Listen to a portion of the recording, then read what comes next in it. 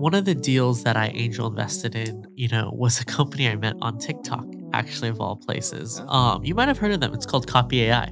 Oh, Yeah. you invested in Yeah, Copy Wait, wait a minute. That's a double. Yeah, move. we've definitely heard of Them. Yeah, their baby food's actually really good. I would taste test that stuff, and it's like really, really good. You would stuff. taste You this. would Yeah. taste test baby food. It's so good. I'm swear. So how are you comparing it? Like, what are you comparing it to? Applesauce. like applesauce. Yeah, so actually, it's like yeah. We called a timeout, and you know you're supposed to stop the clock. Yeah. Uh, the scoreboard operator didn't stop the clock. The ref was like, "Hey, you know, you gotta stop the clock." You know, and the scoreboard operator was like, got up and was like, "Don't tell me what to do." I'm like, "Holy shit!"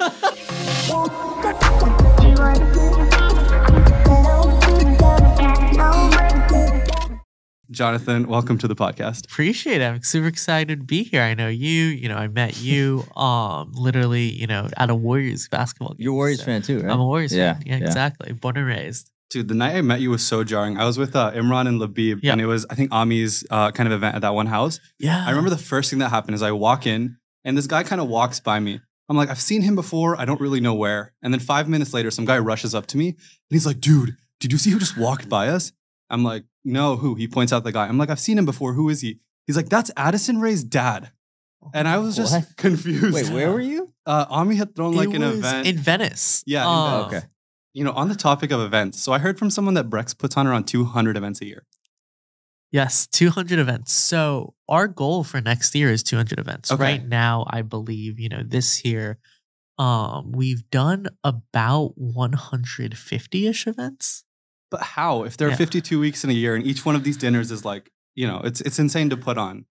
How does that even happen? It's it's hard. So our team is four people right now. One, two in Miami, one me in SF, and then my boss Shy. He is in New York. So all four of us are doing collective, you know, 200 events. So you know that's what like 50 events, you know, per person Wow. a year, which is hard. You know, um, it's definitely you know we launched something about three months ago called these things called Brex Supper Clubs. You know, we used to do a lot of dinners in restaurants. You know, my go to was like, you know, your palm houses, you know, super laid back, very casual, bring in founders. But, you know, as more events are happening, you know, it's like you have a higher bar for like, what events do I want to go to? You know, for me, you know, there's a lot of events I'm like, I don't want to go to. It's a waste of my time. Or, you know, you network with the same people. Yeah. So we wanted to do this thing called Brex Supper Club, which is, you know, dinners and pe- intimate dinners in people's houses. It's, you know, 12 to 20 people dinners in like a startup founder's home or like a venture capitalist's home. And it's a very unique vibe because, you know, it's not like, oh, you go to a restaurant, it's very, you know, like, you know, restaurant, you know, it's like very, feels like a restaurant vibe versus this is just, you know, you're in someone's house, casual conversations, Mm. you get to meet cool people. And usually at all these events, the whole takeaway is you meet some really cool people, you hopefully talk to them. It's SF, it's small. You talk to them, you see them at multiple events, and, you know, the rest is history. But in terms of, yeah, throwing, you know, like 200 events in the year, it's a kind of mix. You know, there's, you know, dinners that we throw. We throw a lot of bigger, you know, events like happy hours. Um, next week we're doing one um for Techstars FounderCon, which is like a bigger, you know, happy hour for all of the attendees there. There's also like virtual events. You know, we do virtual webinars, seminars on, you know, founder education, such as how to raise, you know, if you're a first time founder, you know, you don't know anything about that. Or what is venture debt? You know, Brex, we do venture debt. Not a lot of people, myself included, knows a lot about venture debt. So it's like putting on events like that is super, super helpful. So it's definitely, you know, there's a lot of burnout. You know, it's like event, you know, there's like, you know, community managers in a sense has a lot of, you know, that community manager burnout. It's like, how do you basically, you know, be able to do all these events at one time and, you know, be able to do it consistently? You know, Mhm. I felt it before. It's like, yo, I'm burnt out. I don't want to do any more events. But, you know, over time, it's like you do an event, you meet people, and you're like, oh shit, I'm energized again. You know, it's time to roll. It's time to do more events. In the community, there's like this really big kind of like hype around Brex events. There's like these big wait lists. It's hard to get into them. But even before that, Brex is essentially a corporate spending account or a credit card for startups. Is that how you would pitch it? Yeah, pretty much. You know, how I perceive Brex is, you know, Brex is an all-in-one finance tool for startups, you know, going from everywhere, you know, um, as a day one founder to, you know, a post IPO founder, you know, we have products for you. You know, there's Brex Cash, you know, for early stage founders. You know, once you raise, you get onto, you know, Brex Card, which is, you know, your credit cards.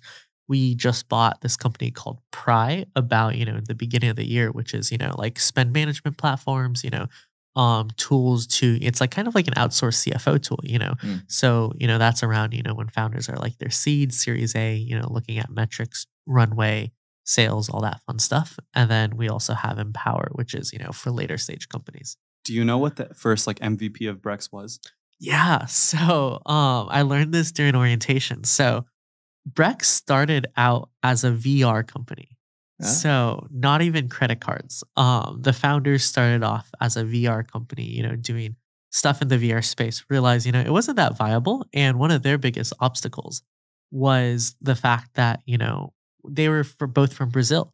And there wasn't much credit cards for startups available out there. You know, it's like a lot of them, you know, were tied to your personal account, you know, personal guarantees. So they decided, hey, let's, you know, create this product. Our first MVP for Brex is, you know, the 30 day card, which is a credit card that is not tied to really, you know, a personal guarantee. It's based on, you know, how much you've raised and help founders, you know, kind of, you know, create this next, you know, generation of, you know, these card management companies that, you know, after Brex, you know, you have your Mercuries, your Ramps, and all these, you know, coming into the space as well. So you would so essentially what one thing that we've kind of talked about before is like this concept of category kings, right? Like let's say the iPad is the category king in terms of tablets, iPhone in terms of smartphones, although I'm sure Android users would disagree. So one thing I'm I'm kind of curious about is would you say that Brex kind of created the category or would you say that it, you know, kind of took a category that maybe Amex or all these other credit card companies had already created and then just like did it a little better? Yeah, I think you know the second you know they did it a little better. You know, I don't. Th- it's really hard, in my opinion, for you know startups to come create a whole new category. You know, everything you know we see in the space is you know usually someone trying to disrupt the space. You know, they see something wrong with it, they want to create something better. You know what you know Brex has done really well. It's you know taken off you know from like you know your SVBs, you know your AMXs, your Chases of the days where business banking, business credit cards wasn't great. You know, it's like such old, antiquated processes for, for especially this new generation, you know, that wants great UI, great access, you know, things at your fingertips on your phone. You know, what Brex, what a lot of these newcomers are building, I think is something that's going to be here to stay for a while. And then why do you think that Brex specifically um, has, or like Brex and even the founders have kind of joined this category of startups that are almost put on a pedestal in, in, in SF? Yeah, I really think, you know, a lot of it, A, you know, we, you know, we started in SF, you know, we were headquartered in SF. I never saw that because, you know, when I was, you know, when they were starting off, I was in college. So didn't know too much about Brex or anything or saw, you know, the evolution of Brex in San Francisco. But, you know, from what I heard back in the day, you know, we had a Brex cafe, you know, in Yeah. South Park. So It's like it- Capital One. Capital One had a They have cafes exactly in, like, the Capital Westfield. One Yeah. Cafe. So it was, you know, if you had a Brex card, you had access to the second floor like lounge, mm, which it's I like thought was really That's cool. Magnises. Remember the Fyre Festival guys? Yeah. Startup Magnises. Yeah. The credit card, and they had the the, S- the exclusive space.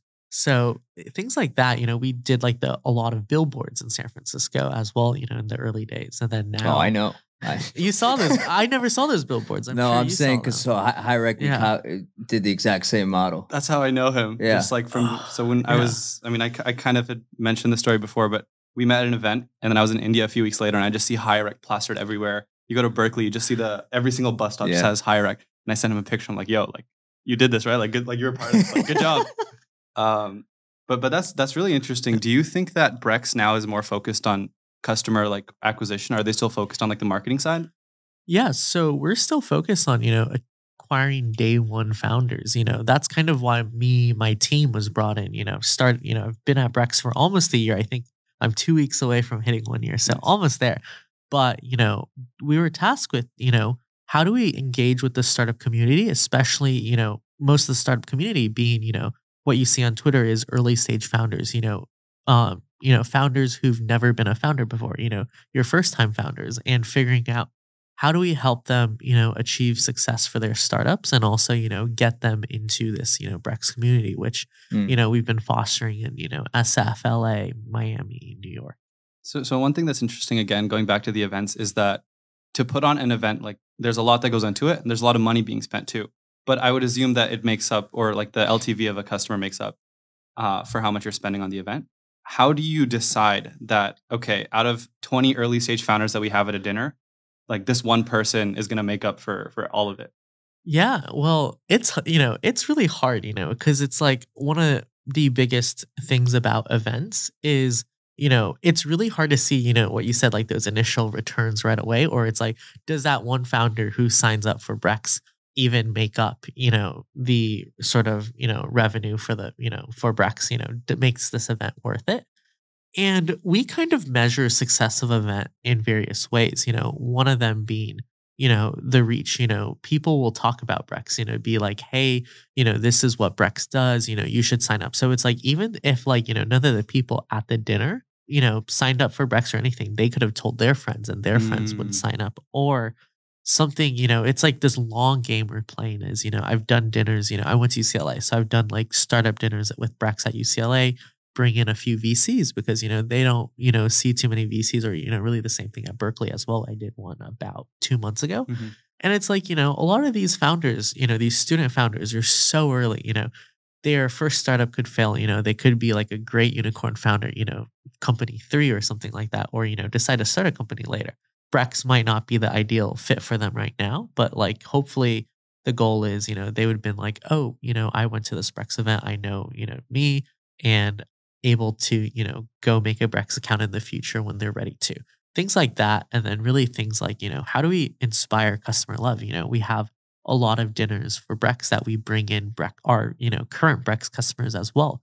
And it's really to give back to them, be like, hey, thank you for being really great Brex customers. We did a billboard advertising event in New York about two weeks ago as well, which is featuring some Brex, you know, customers on a Times Square billboard for free. Oh, wow. So it was super great. They loved it. You know, it was, you know, it was, you know, we had 15 spots, you know, to showcase founders. We had literally 400 signups. So it was crazy. All Brex, you know, customers.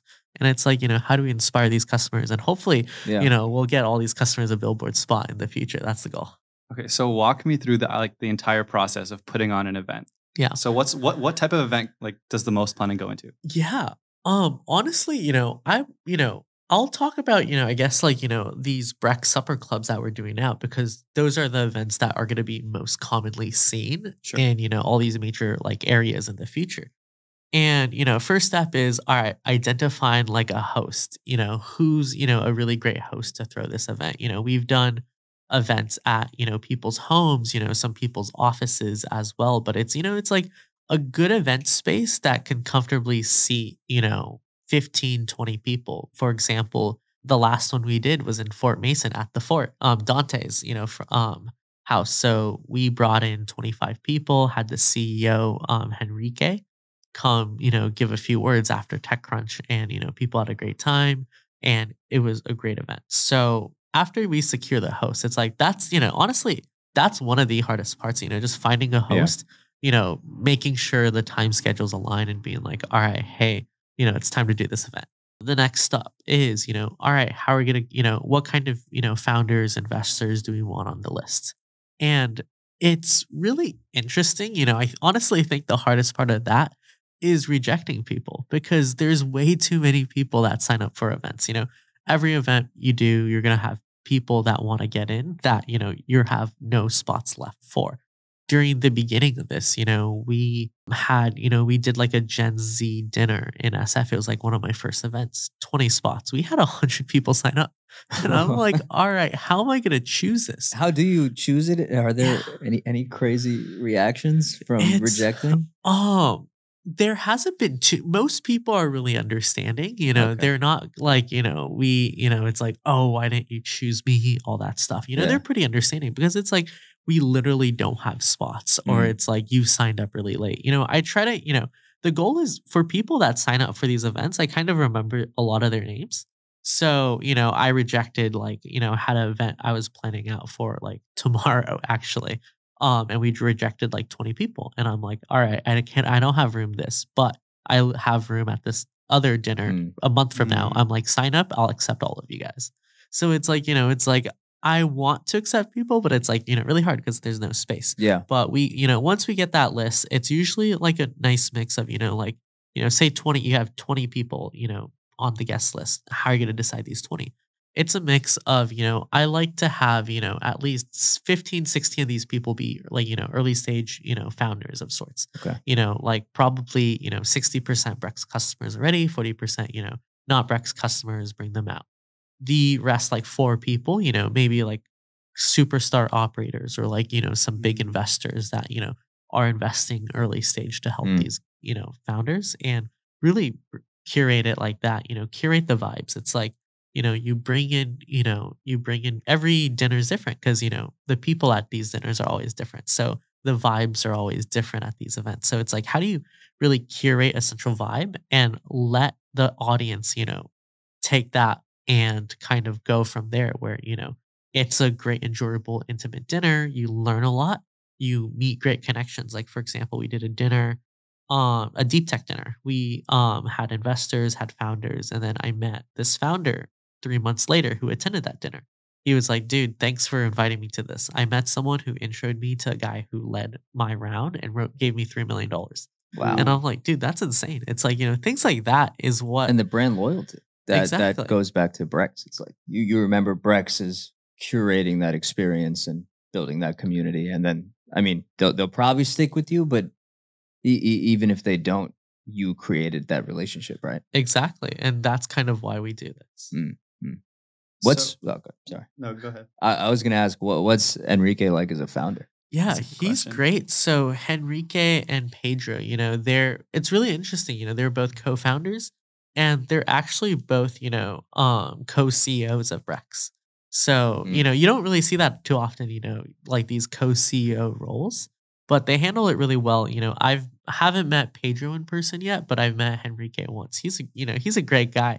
You know, we were chatting with him. He was super down to earth, pretty funny guy you know, um, and really had a great story to tell about, you know, like his learnings as a founder of Mm. Brex to these audiences. So he's a great guy, you know. Um, hopefully I'll see him more, you know, do more dinners, um, Yeah. see him more. But, you know, my first, you know, I was like definitely very nerve wracking, you know, meeting Yeah. him for the first time, being like, hey, welcome to this dinner I'm throwing. But, you know, afterwards, I'm like, okay, you know, that was great, you know. Mm. Um, hopefully I get him out a few more in the future.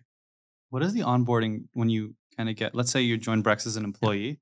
What does the onboarding actually look like? Because I would imagine a lot of thought went into that. Yeah. So um onboarding, you know, it's you know, I don't know what other big companies onboardings are like because, you know, I haven't, you know, before Brex, I was working at like a three person, you know, venture fund. Before Nice. that was like another two person venture fund.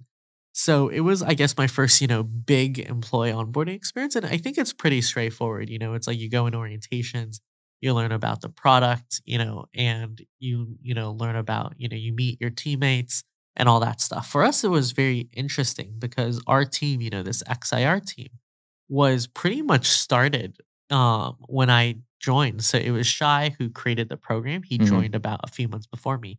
And it was me, you know, Janine, who joined Brex, you know, like a week after me. So super new team where, you know, this never had been done before. What does that stand for, by the way? Um, it's like expert in residence. Expert. in So residence, it's like, you know, I kind of frame it as like, you know, like these like community evangelists, you know, like these entrepreneurs and residents, you know, Mm. what like venture and residents look at at like, you know, these, you know, other venture funds, bigger Mm. companies. What experience did you have before coming into Brex that made you this like fit for the XIR role? Yeah, I think really, you know, three things, you know, one was, you know, brand building. You know, I've built, you know, my TikTok, you know, at Venture Capital Guy, you know, for 2 years before this, I've seen know. some of your TikToks. Love it. You. Yeah. love it but it's you know something that i curated for a while you know when i you know when i was at gsv the first thing my partner told me was you know crafting your brand was very important he was Mm. on like you know your cnbcs you know all these talk shows and i was like i wonder why he's doing that but it's you know your brand is important to you know who you are as a you know investor so i basically was like all right you know i'm gonna do the gen z version of this make a tiktok you know i used to be a videographer so, and kind of see how that goes. Mhm. And it did really well. You know, I built a brand on Twitter, you know, through Gen Z Scouts, you know, built this whole Gen Z, you know, founder ecosystem. Yeah. So, doing all of those things, A, helped a lot. B, you know, background in venture capital. So, everyone on the, you know, on this XIR team is either former VCs or former founders. So, you know, I was at GSV, which led me to just meet a lot of, you know, have a network of early stage, you know, founders I knew or, you know, VCs that I knew. Because if you look at this role, you know, um, other companies also, you know, want to do something similar. You know, they want to throw events, they want to do stuff. But the issue is they don't have a network. You Yeah. know, they don't have a network of, you know, loyal people or just, you know, if you're someone creating an event, you know, you don't know founders, you have to reach it out. That's via why I was trying to sponsor your events, right? It's like the first thing I was like, we need Brex Mm. to bring us a network of founders because we don't have it. Exactly. It's like that. It's like, you know, a lot of, com- you know, we work with a lot of, we, you know, partner with a lot of companies Mhm. to do this because, you know, they know we have a really great network of founders that we know and cultivated over time. So now I, I actually didn't know about the, the TikTok account, but that's Yeah. really cool. So now if you want to take your background in videography and merge that with with with this kind of industry you're in of, of venture, how would you recommend existing kind of VC funds go about branding? Would you say that events are more important? Is there online presence? Should they all make TikTok videos? Like, what do you think? Yeah, definitely not all make TikTok videos. You know, it's like it's int- you know TikTok's such an interesting. You know, I'm still trying to understand the TikTok space. You know, I think my last video got shadow banned or something. No. So, um, still trying to navigate that. But it's like you know, it's more about authenticity. You know, how do you be really authentic in everything you do, and which is how you know funds win because it's like oh, if you really look at it, you know the you know, there's so many, you know, like inauthentic accounts or anything like that where it's Mm. like, oh, you know, you don't believe the message and that's not good. You know, it's like it, you know, brand authentication doesn't eh, happen overnight. It takes, you know, months of curating, it takes years of curating. So it's like, how do you really create that great presence? Mm. What would you say that they should be curating? Yeah, I really think, you know, for venture funds, it's, you know, your, you know, I guess market is, you know, how do you get founders to, you know, how do you get great founders? How do you get founders to be like, hey, we want to take your money to, Mhm. you know, um, be a part of this, you know, journey forever? It's how do you help founders? How do you be authentic to founders? Even if, you know, you're not investing in them, you know, how do you help them with everything? And, you know, I've been thinking about this a lot as well. It's like, you know, for my, you know, I run a syndicate, you know, for my syndicate, it's like, you know, if I ever want to turn this into a fund, you know, what stuff do I want to do that's not just investing that will help, you know, A, build the brand of the fund, but B, also help founders, which, Mm. you know, I learned a lot from Brex is, you know, doing some, you know, curated small dinners, you know, all around and really, you know, kind of going off that, you know, just really being authentic, helping founders, you know, with everything they need. I, I definitely want to talk about the syndicate because that's really interesting. But even before that, to, to kind of stay on the current topic, now let's say you have, uh, let's say a $10 million fund, right? You have an event budget, um, 100K. Yeah. And does that, is that kind of like in the range of how much you would probably spend for that size of a fund? Yeah, I think so. You know, um, that's a hard question because, you know, for me, it's, you know, I don't, you know, I have a syndicate, so not a lot of fun, you know, not a lot of, you know, money to spend for events. Mhm. And, you know, it's a lot smaller in terms of, you know, I'm trying to, you know, spend as little as I can, get the biggest output as I can. Because, you know, at Brex, it's like, oh, you know, we want to be smart with our money. We don't want to spend on like overly crazy things. And, but for 100K, you know, I think if I was a fund, what I would do is, you know, go, you know, a create these small, you know, dinners in all these different geographies that you want to focus on. Mm. Bring in founders you want to focus on and cap it off with like a, you know, a killer um summit, you know, annual summit that is, you know, really authentic, really great. I went to one about 4 months ago, um Next Play Capital. So they're a venture fund I think out of, you know, San Francisco. The founder is this guy, Ryan Nece, former UCLA alum, played in the NFL. Dad is NFL Hall of Famer Ronnie Lott.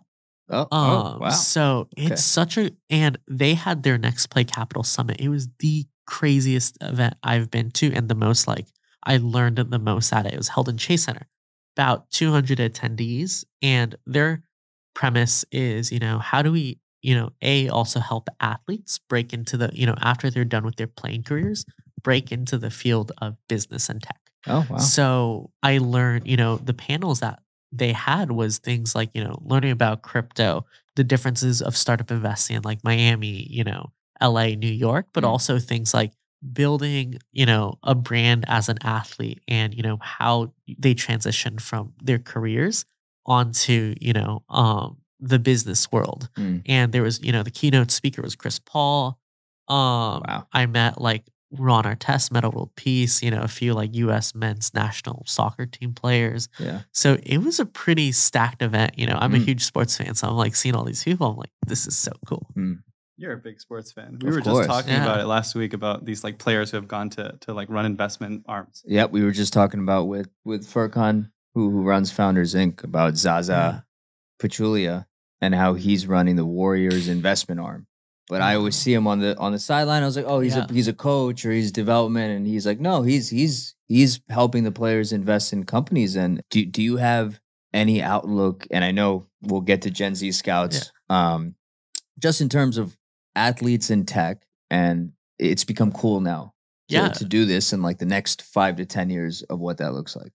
Yeah, no, 100%. I'm a huge, you know, I'm a huge proponent of this space. It's like, you know, I think athlete, you know, even like creators as well, you know, the creator space, the athlete space has always slowly become intertwined with this whole tech space. Hmm. You really see, you know, like Kevin Durant, you know, his venture fund has been doing really great things. And on the creator side, you see places like Animal Capital, you know, which was founded by Josh Richards. You see Anti VC by uh Jake or Logan, I forgot which one of the Pauls Yeah. um you you see like the Dixie D'Amelio, Charlie D'Amelio venture fund coming up as well. It's like, you know, really, you what are know, your thoughts on those?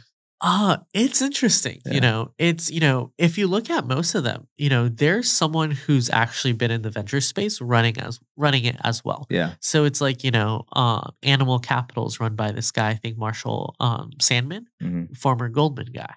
You have, you know, um, you know, you're looking at, you know, like the Kevin Durant funds. I'm sure he has someone out Yeah, there, yeah. you know, in the background as well. But it's like, you know, it's really interesting because, you know, it's like, A, if you're a founder, especially for like the creator economy startups, you know, or like your consumer founders, you would love like a Josh Richards, you know, like an Animal Capital or Logan Paul in your round because they post a video about your product on TikTok. You know, Yeah. you get so many fans, free Mm. marketing. But it's also really interesting as well because, you know, they're not like traditional VCs who've seen the market, who's, you know, weathered, you know, economic, you know, like disasters or economic recessions. So the whole, you know, unique prop to helping founders is mainly, you know, a lot of marketing, a lot of, you know, PR product versus that of, you know, building a company, how to hire the best people, which, you know, I feel like as as a founder, you know, you want a diverse cap table, you know, getting Yeah. a few mix of, you know, VCs with great superpowers. I think it's really interesting that we're starting to see a lot more people with followers start to also play the VC game. Yeah. Like if you look at like Shaan Puri and Sahil Bloom. I mean, Shaan Puri obviously like I think he just angel invests, but Yeah. Sahil Bloom, last I heard, I think he has like a rolling fund. So these guys essentially have a not a hack, but like they have distribution down because they're probably investing in either lifestyle or like you know these like B2B plays where their mm-hmm. audience is also the target demographic of the startups they're funding. And if you can get to that point where it's like your audience is also the the, the demographic, it, it almost feels like a hack because you can invest in these companies. It's almost like you're guar- not guaranteed, but it's almost like you're guaranteed um, some type of return on that because you have their marketing figured out. Yeah, I think it's really interesting. Um, I wouldn't say you have the marketing like completely figured Right, out, right. but it's like, you know, you have some semblance of it. It's up to you to, you know, expand that and Definitely. grow to that series A, to that, you know, locking down that product market fit. But, you know, yeah, like what you said, like Shaan Puri's, you know, of the world, you know, like your Turner Novak's as well, you know, Yeah. his banana cap banana capital fund you know was really a lot of it spurred by you know like his twitter. And it's really great because what lps you know like to see for emerging fund managers is do you have like the brand you know? Like having a great brand does a few things. One is you get to see more deals because more people know who you are. Mm. and b you know you're slightly going to be easier getting into deals because people know who you are. People are, talk about you and be like oh yeah have you heard about you know, this guy, he has some really great stuff. You know, it's like, oh, if you're Josh Richards, you know, oh, he's on TikTok, you know, we got to get him on. You know, he's done something great. So you run Daydream Ventures, is that what it's called? Yeah. So do you get sourced a lot of a lot of deals through kind of your like online presence? Yeah, actually a good amount. You know, um, one of the deals that I angel invested in, you know, was a company I met on TikTok, actually of all places. Oh. Um, you might have heard of them. It's called Copy AI. Oh, Yeah. you invested in Yeah, Copy Wait, wait AI. minute. That's a double. Yeah, move. we've definitely heard of that. Yeah. That's good. So it was How really- early was that? It was so I did this December um December 2020. So Holy- about yeah, a while ago. Wow. And it was so I've heard about I heard about Copy AI like three months before that. So like Yeah. probably September. Seen them on Twitter and didn't really look into them that much, but I saw them. And then I saw their founder, you know, Paul, he was like building in public, you know, Mhm. tweeting about building in public. And I'm like, oh, this is actually really cool. And his co-founder Chris, who I got to know a lot better, started was doing like copy AI TikToks. And you know, at that point, you know, December 2020, there was not a lot of VC or startup TikTokers. I literally think I was the only one out there. Um, so we connected, we chatted, and one day, you know, I was I think it was like winter break. I was like, you know, back home, and I'm like, dude, do you, you know, do you still have? Are you raising? You know, do you still have money on the round? You know, he was like, yeah, we're actually doing our, you know, closing up our angel round if you want to get in. I'm like, dude, I'm super down. So that happened, you know, great, you know, great company so far. Yeah. You know, they're doing well. You know, generative AI has been just blowing up in Yeah. the past. I think it's, it's a unicorn, right? no, not. I don't think so. Not yet. Not yet. yeah, Okay. hopefully soon. Yeah, you know, yeah. fingers crossed. But yeah. That's amazing. And can you talk a little more about the strategy when you start evaluating these venture companies, early stage founders specifically? Yeah, it's really, you know, it's always very different because, you know, in all these different spaces, you know, you have to evaluate different things. But I think, you know, I go, you know, what, when I was at GSV, we had something called the five Ps. And, you know, it's kind of guided me even after GSV on investing. It's, you know, like people, purpose, potential, you know, predictability and purpose. You know, it's like, you know, the big thing is, you know, evaluating the teams. You know, there's, you know, when you talk to a founder, you know, if you're early on, you know, like you just get into VC, Mhm. the same case for me. You know, the first 10 founders I talked to, I'm like, dude, these guys are building unicorns. You know, these guys are going to the moon. It's because, you know, you haven't talked to enough founders yet. You know, like I don't think any of those first 10 companies I talked to, you know, are doing well now. But Yeah. it's like once you keep talking to more and more companies, you get to, you know, understand, you know, what, you know, makes a good founder versus, you know, what doesn't make a good founder, you know, Mm. or it's like an okay founder. A company that we talked to um, and invested in in the beginning of um, this year, actually, this company called Abstract. Um, we were a really impressed because they were building in a space that you know was very antiquated, you know, kind of like you know not nothing very much technology you know has been implemented in that space they do you know like lobbying for you know making lobbying accessible for small businesses and hopefully eventually for everyday citizens. Okay. um and it's like collaborative software as well which is really interesting. Talked to a lot of lawyers. They like you know they were like i haven't seen this before. A lot of these gen z millennial lawyers like dude our technology is like 90 90 stuff. Haven't used these in a while. And they're like this is really cool. And the founders itself, they're really great. They had like the cleanest data room I've ever seen. You know, they were super on top of all their conversations, you know, tracking everything, you know, uh, their sales things. And I was like, this is really cool. You know, these were like, you know, just got out of college two years ago, you know, Mhm. type of founders. And I'm like, all right, let's make a bet into them. You know, they raised, you know, um, we got in the round with, I believe, like Amplify LA, WndrCo, a few other guys. So they've been doing well, you know, excited Oh. for them to grow in the And future. WndrCo's, is that Katzenberg? I'm not sure. Yeah. It's the um, it's Kendrick Lamar's manager. I forgot who he was. Oh. Yeah, yeah, yeah. The TDE guys? I'm not quite sure. That Hmm, I'm not too interesting. familiar. Okay. But yeah, So, what was like the initial like thought process behind starting Daydream? Were you already thinking of angel investing? Why did you set up an entity? Are there other people on Yeah. the team with you? yeah. No. Um, why I started this was you know I you know when I was work you know in venture I was like all right you know the end goal for me is I want to start my own fund one day, but to do that it's like you have to have a really great track record. And you know you don't get a track great track record. If you, you know it's like I want to start investing in companies to kind of prove out my thesis and track record over time. Which is you know right now we've been investing kind of in two areas. One is you know investing in Gen Z founders or founders building in Gen Z, or t- really two it's you know founders building in antiquated spaces. You know spaces that you know have been neglected for some time and they're Mm. building something really cool in those spaces. So those are the two thesis areas I wanted to prove out, which is kind of why I started investing you know, in companies starting, you know, really starting this whole process out. And we have, yeah, like we have two people on our team, you know, um, none of us, none of this is our full time jobs, Right. which is really great. You know, so we do about, you know, one to two deals a quarter. So super, super, you know, we don't do too much volume, you Yeah. know, we'll do company here and there.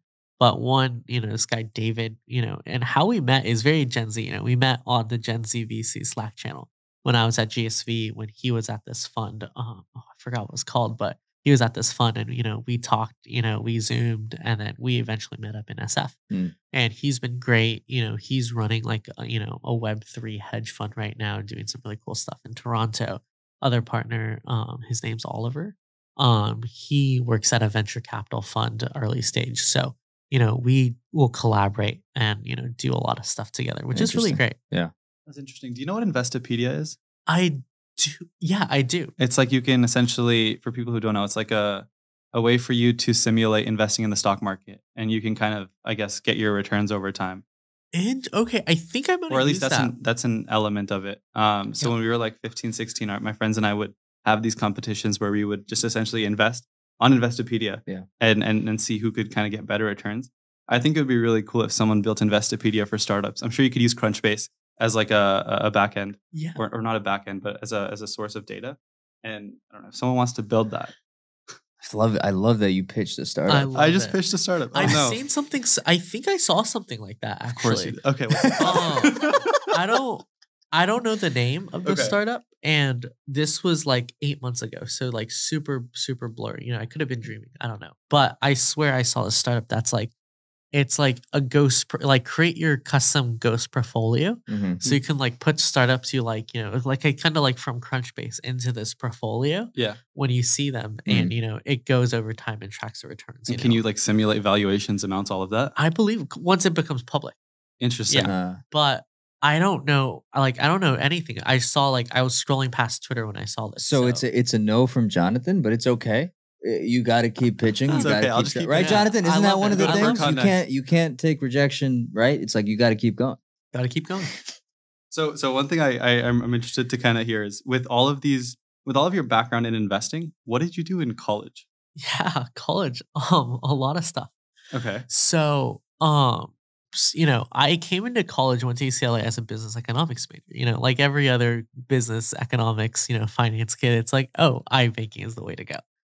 I joined this iBanking club my, you know, literally my first like five weeks on campus, and I was like, dude, I do not want to do this. It's all number crunching. You know, it doesn't feel, you know, it doesn't feel authentic. You know, I didn't know what I wanted to do. Um, I you know, have heard of startups from my family. So one of my cousins, he's a founder of this company called uh, Parting, Mucker Labs. You know, back them, you know, so you know when I was growing up, I saw him, and my other cousin founded this food delivery company called Caviar that I got acquired by Caviar. Square Nice. um out of Berkeley. So those two were like kind of my big inspirations growing up. You know, that's how I heard about startups. And, you know, um, so I always kind of knew, you know, there could be something really cool in the startup space to do.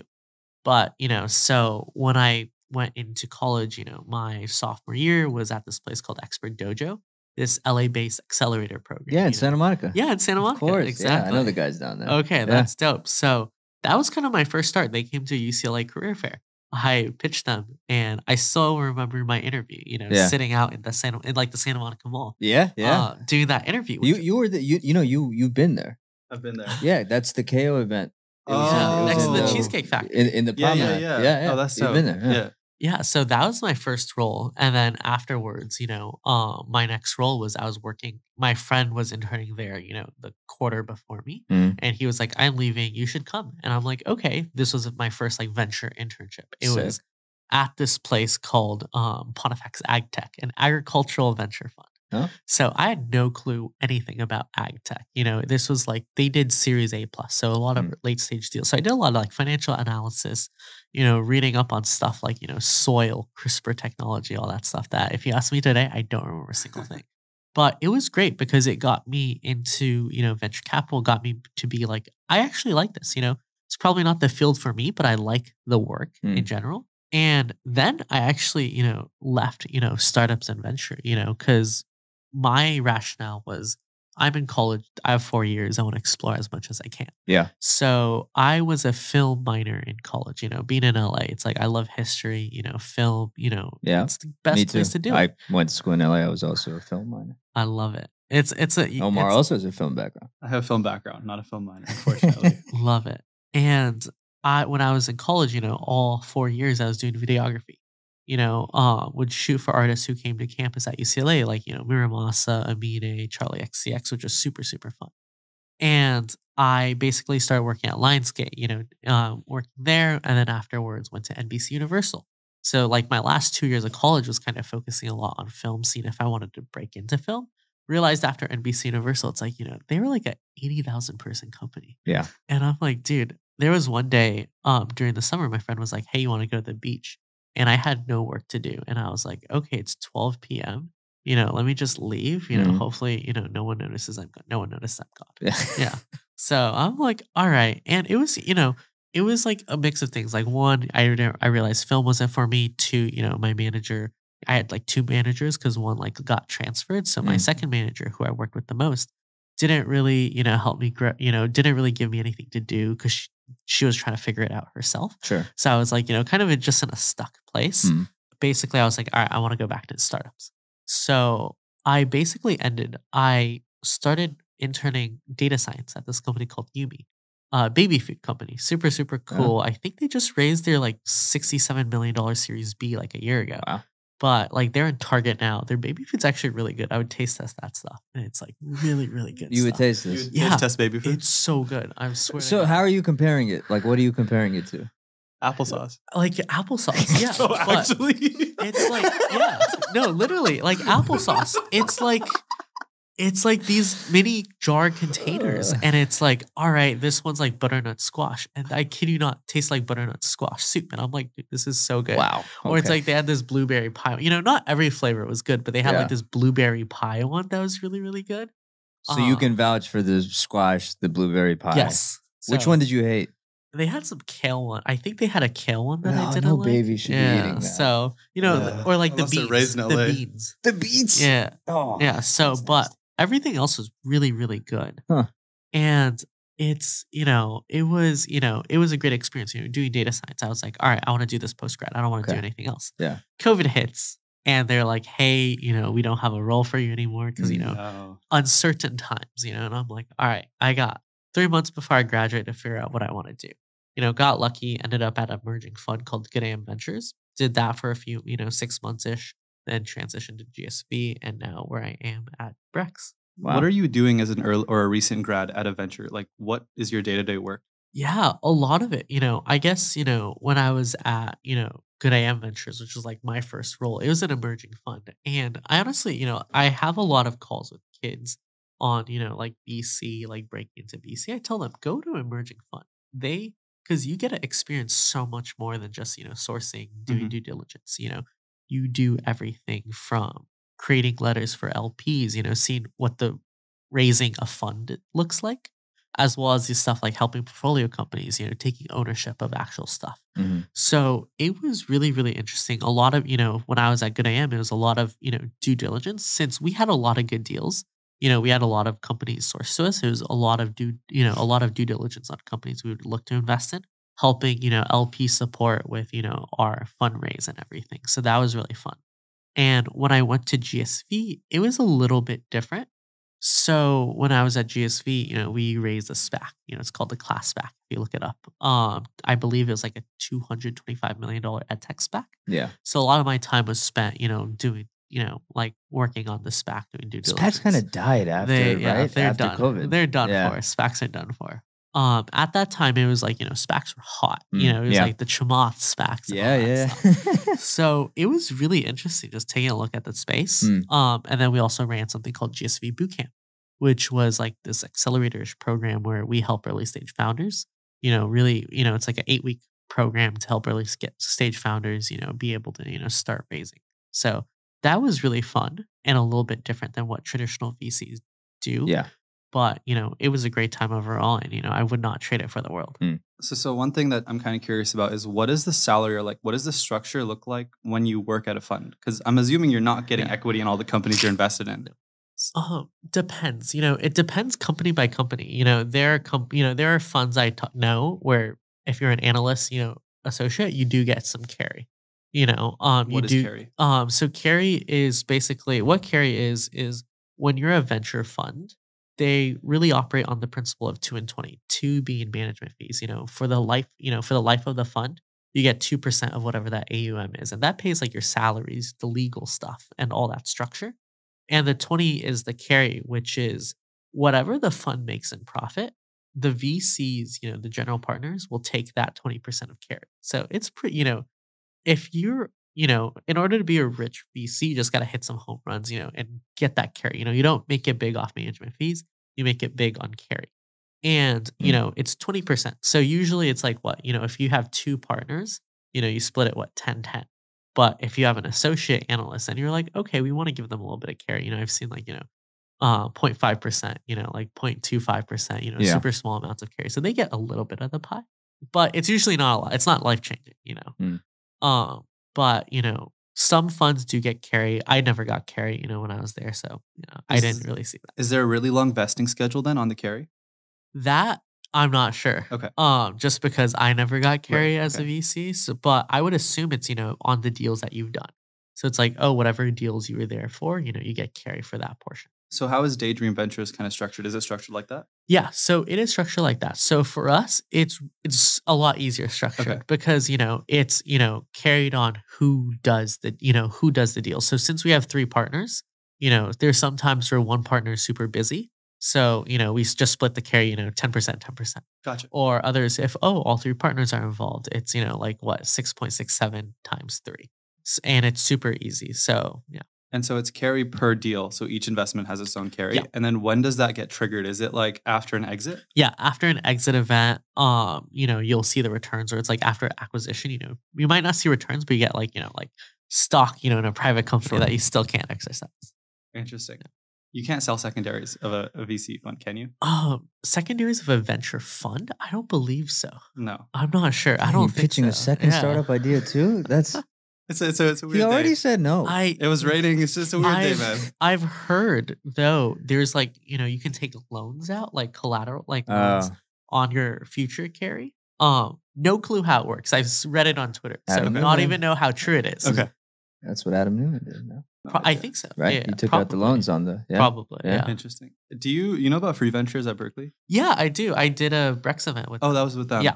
That's dope. So do you I, don't know if other colleges have an equivalent. I would imagine at Berkeley, if you want to get into investment, you would kind of go through a club like that. Yeah. In other colleges or even outside of college, if I want to get into venture as like my full-time job after college, what do I have to do in college? Dude, it's hard, you know. I was talking to my friend about this. You know, he joined, you know, a venture fund about like a year ago. And he was like, when I was applying for VC roles, there was literally, you know, I got, he got the job, but it, there was a thousand applicants.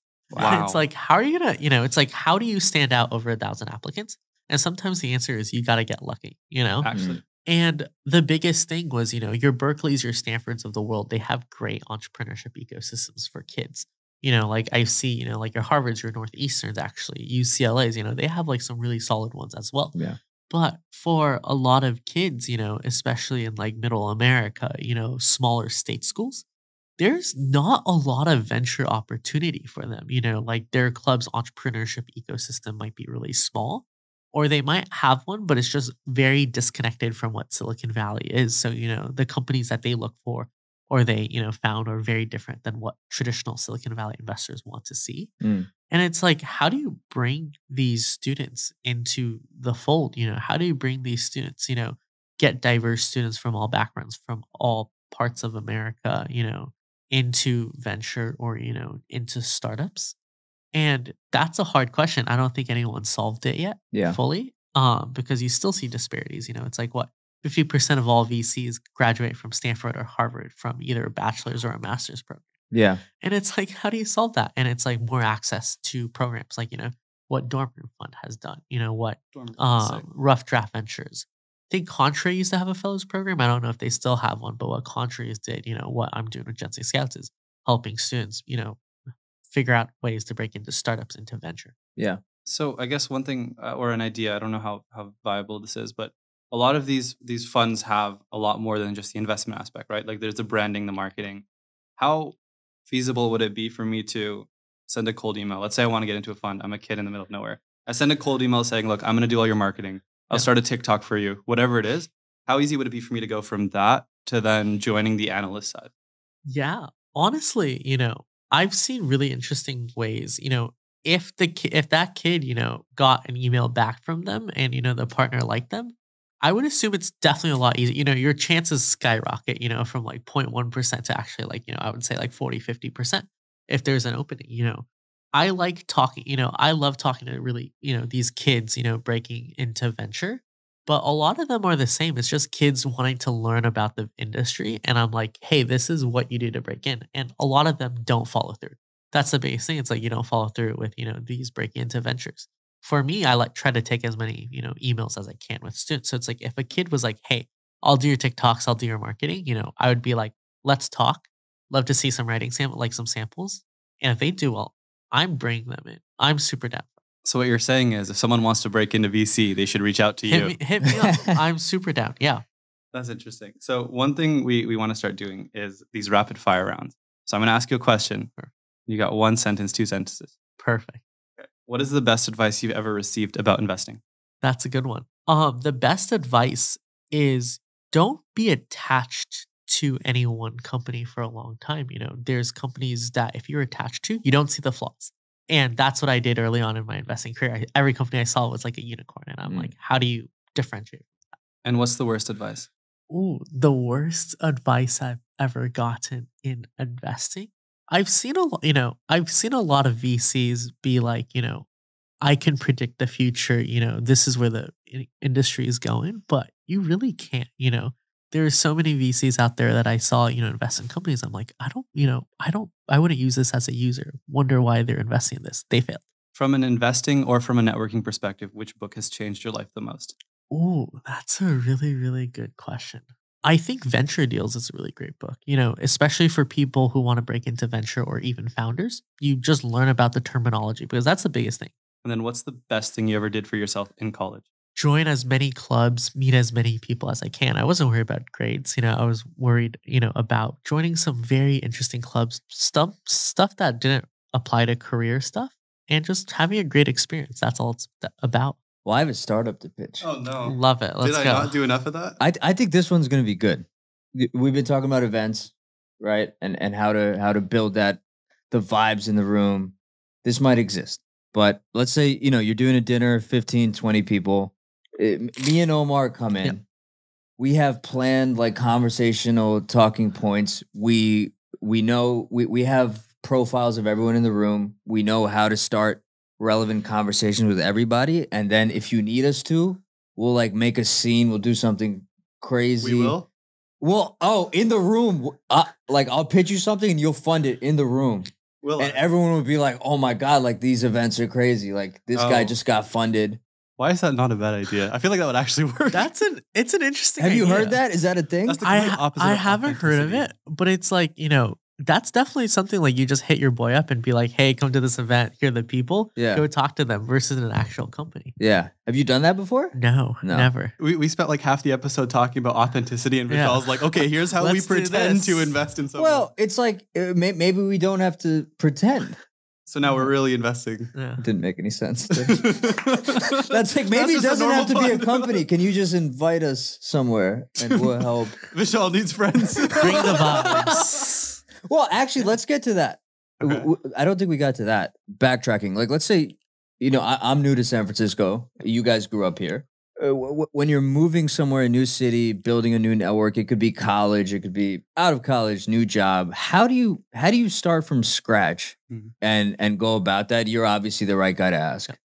It's a, that's a really good question. I've been trying to figure this out myself when I moved here because I'm like, shit. All my friends here are tech and startup founders. I'm like, that's great, but I've been like, all right, I need friends outside of the startup world. Yeah, which I'm slowly trying to, you know, accomplish and claw in over time. yeah, And it's very, you know, things like, oh, you know, I've I'm doing this thing called Volo Sports. I don't know if you've heard of it. no, In San Francisco, it's like, you know, there's like these, you know, um, different sports like flag football, basketball leagues, all that stuff. So I joined a basketball league.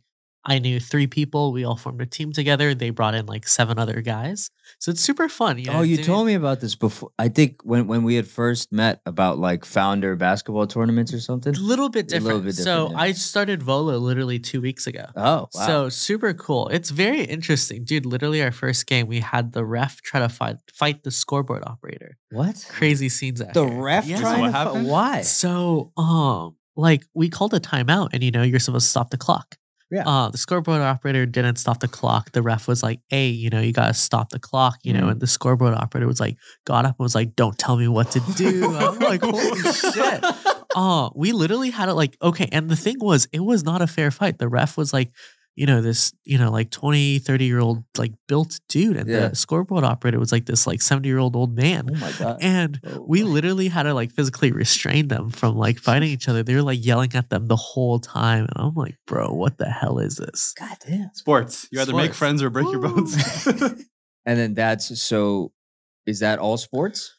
That's all. So that's all like that, you know, Volo is all sports, you know, doing a lot of these events. Mhm. Uh huh. I try to, you know, still keep in contact with a lot of my college friends. Yeah. Because, you know, they all have friends that they know that are not in tech or anything. It's always great hanging out with them and just meeting new people. Yeah. But it's the age old question. of It's like, you know, it's like, all right, meeting people on Twitter, you know, is super easy. You know, I can do that. But it's like out of, say, 50 people you meet, one of them or two of them could actually be genuine connections that you know. You're like, yo, let's hang out on the weekend over Yeah. time. You know, it's hard because, you know, you have, you know, SF's really interesting where it's like you have tech acquaintances Yeah. and then people you actually hang out with, even if they were not in tech, which is mm. very hard. And it's, you know, I don't think a lot of people in this space have figured out how to do that yet Because LA is so different. LA is so different. Like it's so different, and and and the tech scene is you know you have your Silicon Beach, and then you have film and media, then you have the influencer kind of crowd. exactly. But it's such an interesting culture clash because you went to school at UCLA, and Yeah. then and then you came here. Exactly. It's always so interesting. It's like nerve wracking meeting new people. It's like, you know, the best, you know, way to do this is, you know, send me to some city I know that I know no one like Cincinnati or like, you know, Yeah. Cleveland and be like, all right, you got a year to make some friends. You know, that shit's hard. I'm Wait, is that is that a reality show? it could be. Hey, mm, that's wait a that, that minute. would be fun. That would be really fun to do like a Does it have to be like a tech founder, or can it just no, be anyone? anyone? I think this is a problem Huh. everyone has. You know, it's Like like, like zero, like square one. like Square you just one, you get you an don't That's what it's apartment. called. It's called Square One. Oh man, and then they have a year, so they have. We have to give them some tangible goal, right? It has to be something. A year. What's the tangible goal? okay? I think this is like the ultimate test of like, you know, friendship. is Yeah. Going on a vacation. Ooh. a year to go to like you know all right let's go to like europe together So like a group of friends, one friend. How? a group of friends like three or more Wow. So so so in a year you have to move somewhere. No, nobody. and find three people who will go to Find Europe with like you. three people that Yeah. will go on a European vacation. i think that That's a yeah. great concept. This is why we're like we have that film background. I think we just came up with something. I love it Now let's we make it happen I- I'm let's gonna- find some people I'm gonna pitch it to Daydream. Oh yeah. uh, and see what they say. we'll, we'll send you a check in the mail I met my like my current like my best friend on TikTok a year and a half ago. wow He put out a video, and I don't know why people actually no, I know why more people don't do this, but he put out a video on TikTok. it's it's not bad. He put out a video on TikTok and he was like, I'm this old, I go to this school, I'm this, like a little bit about him. I'm looking for friends. i've seen this Yes. Yeah, and so. Wow. he was in USC. This is after I had applied to USC and my dream school was was USC's like IYA program. And so I was like, okay, he's he goes to USC. He's Muslim. He seems cool. I'm gonna reach out. The first time I ever met him, I slept at his parents' house for a week. Like they just gave me their guest bedroom. Really? Um, Wow. And we we went on like a helicopter tour. We we went, I don't even know what we did. We did we got a, a couch and we just put it. there's so much. Okay, there's a really you know the couch inside joke. I'm just not gonna explain it. Let's but- not do that. But Yeah. but basically, we got a couch and we put it in the middle of USC's big, busiest intersection, wow and we had his his uh, his freshman roommate sit on the couch. We had people hold up paintings behind him. We Oh, got you showed the popcorn, video, yeah. right? And we just said we sat in the middle of the intersection and just took pictures as like college commitment photos. But but where I was going with this was it's like if more people just put those videos of them outside on TikTok, that's actually I don't know if that's like net positive for the world. That's probably a But really his thesis is error. like it, it's all person to person. If if you thrive in that environment and Mhm. you personally want to authentically Yeah. do that, it, do anything, right? yeah, just maybe don't get kidnapped. Don't let people stay at your house for a week. It's not a good idea. I guess that's like a vacation. You kind of cross that one Oh, off yeah. the list. The Yeah. First time I met him. it's also really interesting because it's like you know it's like you don't it's just strangers like you don't know what they're like or anything like that you're like all right fingers crossed they turn turn out decently normal not a serial killer Mm, Yeah, it's like now I FaceTime the guy like every day for like an hour. that is interesting. It is something. Wow. love it Good for you. Lu- Luckily, you're still alive and here. Yeah, and you can do this podcast. That's the only reason I'm alive. And then you're a big, you're a big UCLA guy, right? Big UCLA. guy. basketball. basketball, football. You know, we're doing well. We're both ranked. We're ranked top ten in both sports this year. Give me give me a prediction for UCLA basketball. dude. NCAA title or bust. You know, Title or bust? title or bust. It's our year. You know, we went Final Four. What two years ago? We Yeah. went Sweet Sixteen. This year, we got two five star recruits coming in: Amari Bailey and this Mari other guy, Bailey, yeah. Adem Bona. But Sierra Canyon. You know Sierra Sierra Canyon. Canyon. Oh, yeah. Drake dated his mom. What? Yeah, Oh, that guy. Yeah, I Drake- know about Drake him. dated He was friends mom. with one of my. He's friends Yeah. with the guy I just Drake told you guys dated about. his mom. Yep.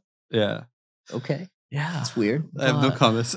We're we're looking good. We got the best what power forward in the league. We got the best uh, point guard in the nation. So Tiger you know, Campbell's the Tiger best player. Campbell, Okay. Dude. Jaime Jaquez player of the Jaime year. Jaquez, Maybe. player of the year. Maybe. Exactly. Juzang's gone though. Juzang's gone. Okay. Well, you guys are better than you used to be. Yeah. Oh, dude. When I was in when I my four years at UCLA, our football team was terrible every year. Yeah. Um, it was you know the chosen one, Josh Rosen. You know, Oh, God, uh, who every year you're like he's gonna win a. People are like he's winning Heisman. Yeah. you know that Texas A and M comeback game. You know, I was Yeah. like, all right, UCLA is gonna you know be really good, and then we Yeah. just sputtered out. And he's out of the he's what out of the league already in the NFL. Who's gonna win the NCAA title? Uh, football. Oh, that's a hard one. Um, I like Georgia. I like Georgia's odds. You know, they beat I like Tennessee yesterday, so or Yeah. Saturday. So Mm. I like them a lot. Okay. Okay. Well, so he's we have predictions for he he said Georgia's gonna win the football Georgia. playoff and UCLA is gonna win the basketball playoff. Yeah. So you guys can go to his Twitter and hate on him if that doesn't Exactly. happen. Is that all the startups we have to pitch today? I think we did a good job of, you of did. pitching It was some good startups. yeah, Yeah, we had some good ones, and he's he's gonna use us I- anytime he needs us, right? So, oh, so we if you need Brex us, dinner invite now. If you here's the thing, if you're kind of on the fence about an event, or you're like, ah, I don't know how this one's gonna go, a new concept, just Yeah, ask dude, Omar I and got to come in and just start some beef. whatever we need to do to get this done to make people remember. And we'll just, we'll, you know what? We'll just come in, stand in the center, and scream Brex. You'll I do love that. it. I love it. You guys are hired. Awesome. Where can people find you online?